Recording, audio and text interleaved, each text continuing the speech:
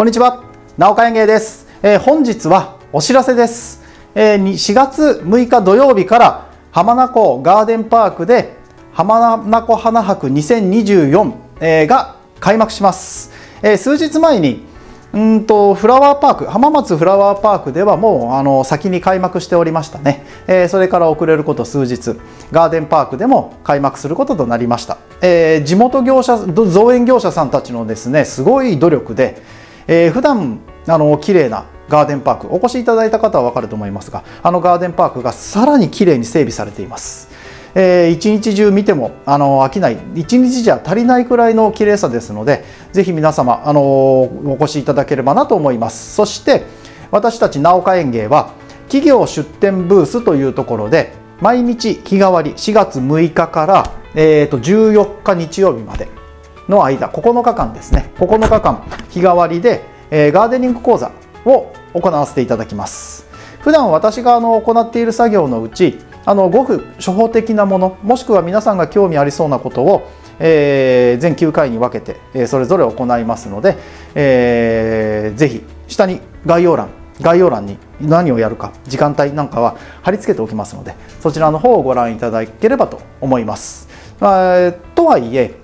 初心者の方でもなるべく楽しんでいただけるようなえー、まずは道具のご紹介であるとかね。どうしても作業する時にこういう道具がいりますよっていうのが出てきます。私2年間趣味の園芸であの園芸道具ガイドを連載しておりましたので、えー、その中でこれだけは皆さん持っていた方がいいなっていうような道具も、ご紹介して実際使っていただこうと思っております、えー、これからいい時期ですからね。4月の上旬も桜も満開ですねすごくいい時期ですこんな時期逃すともったいないですから是非ガーデニングを始めたりもしくはあの冬の間から今春にかけてガーデニングちょっとお休みしていた方なんかも是非再開していただく機会にしていただければと思います。で、えー、お申し込み方法ですが、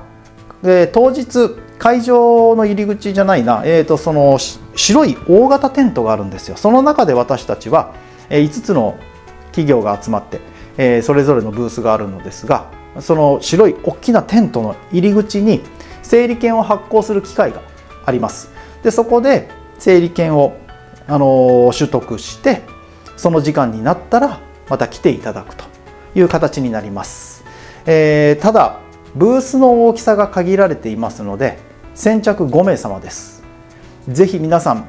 急がずにね慌てず、えー、それでも先着5名なので